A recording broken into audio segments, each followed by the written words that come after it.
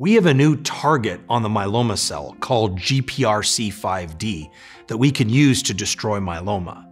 But when patients are treated this way, they can develop some unique side effects. How can we best manage those side effects? Hi, everybody. Dr. Joseph Mikhael here, Chief Medical Officer of the International Myeloma Foundation.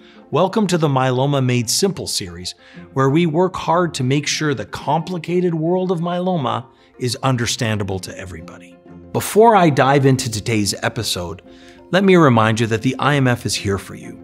We want to help you through this complicated journey. You can call us on the info line.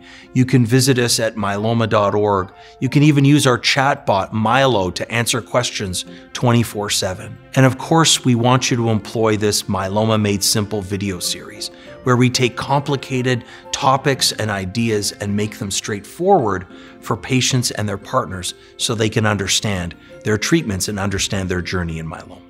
Today's episode is on GPRC5D related side effects. I know that's a bit of a mouthful, but GPRC5D stands for a target or for something that sticks out of the myeloma cell.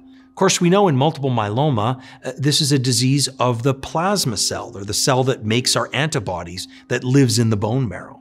Interestingly, these cells have lots of different things that stick out of them, and many of them can be used as targets to destroy the cell. For years in myeloma, we've used a CD38 or BCMA, and now we have this relatively new target of GPRC5D. It's exciting because we want a new way to attack myeloma, and we actually now have a drug that is FDA approved, talquetamab, that works to target the GPRC5D. The benefit of targeting GPRC5D is that even when we've exhausted other options and used the other targets, we know that the, the, therapy we use with talquetamab can be highly effective, giving people a deep and a durable response. The challenge is we do see some unique side effects. So, to be clear, as a bispecific antibody, like we see with other bispecific antibodies and even with CAR T cell therapy, we see the typical three side effects we always look for cytokine release syndrome, neurological toxicities, and infections. We see those with this drug talquetamab, maybe a little bit less on the infection side, which is one of the attractive features to it. But now we do see some unique GPRC5D related side effects because we know, as I've said, GPRC5D sometimes can exist on other tissues. So there are four other side effects that we have to watch for when patients are being treated with talquetamab.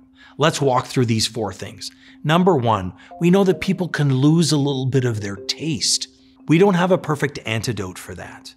But we have learned that if we can keep the mouth moist, if we can optimize their nutrition, very often with help from a dietitian or from a nutrition consult, to see what tastes good, what doesn't taste good, and we take that approach, we've often found that over time, those taste buds do come back. Over time, those patients are able to keep eating and eat well so that they don't have long term effects from that loss of taste.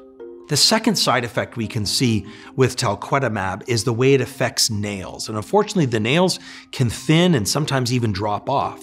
Now, thankfully, they will grow back, and sometimes it may take a few months for that to occur. In the interim, we try to do things like use nail hardeners and moisturizers that can sometimes keep the nails more intact and make the process easier. The third side effect we can see from talquetamab is it can thin hair. Uh, for individuals like myself, it may not be as big a deal, but for some people, uh, we can really see a change in their hair. There's no perfect solution to this, but we've learned that if we can keep the hair moisturized, it can keep it stronger and more intact.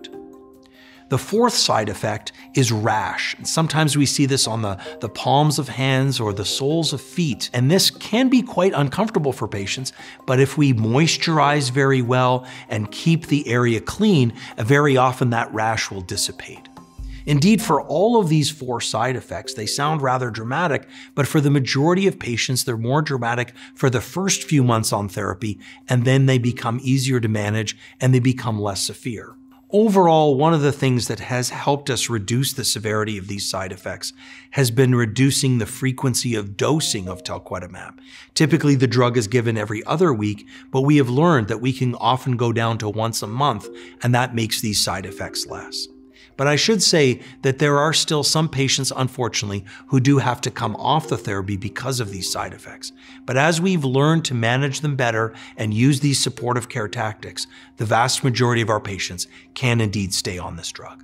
So we've learned that GPRC5D is a great target on myeloma, that we have highly effective, a highly effective therapy to be able to take down myeloma in the form of the bispecific antibody talquetamab. But we have to be aware that there are certain side effects. And when you go into your treatment knowing that these can happen, having an open, honest conversation with your healthcare team about what is happening and what steps we're taking to try and improve them, we know a patient's experience can be better. When you're more aware of what's to come, it's easier to get through these side effects. And more often than not, patients can indeed continue on this talquetamab therapy and stay in a durable remission for long periods of time. Well, I hope this video has been helpful to you as we've thought through the details of GPRC5D related side effects and how we can manage them when a patient is being treated with talquetamab.